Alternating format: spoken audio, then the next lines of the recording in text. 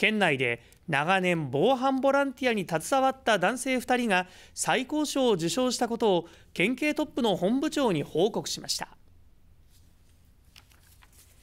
防犯栄誉金賞を受賞したとして県警の大原光弘本部長に報告したのは掛川警察署地域安全推進員の清水正一さん71歳と天竜警察署地域安全協議会の大川光夫会長68歳です。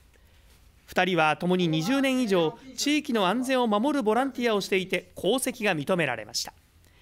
掛川市の清水さんは釣り客の被害が相次いだ車上狙いの防犯を呼びかけたほか夜間は放火の警戒を続けるなどの活動をしてきました。